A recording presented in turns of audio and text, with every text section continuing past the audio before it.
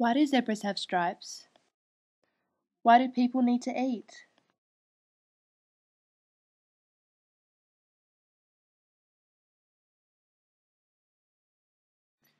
Photosynthesis is the process where carbon dioxide, water molecules, and the sun's energy is converted into oxygen molecules and carbohydrates. These are used as the fuel and air for all living things.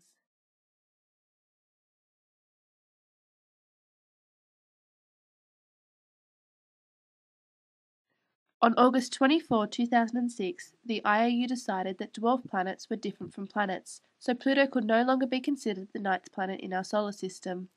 My friends and I found this a rather interesting topic, as this was contrary to what we had been taught at school.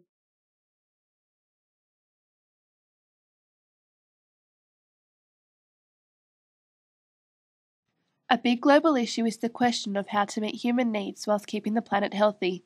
The town of Vandergrift in Pennsylvania is planning to harvest energy from their local river by using electric generators.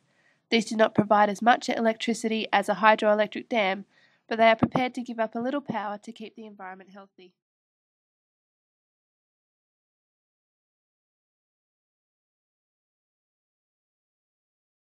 The scientific method is the process scientists use to evaluate the world around them.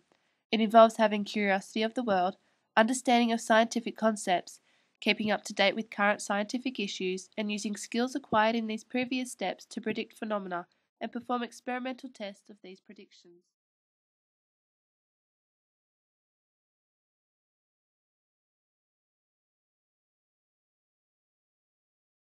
Creating science is an extension on these steps as it uses the scientific method to explore personal questions relevant to the individual's world.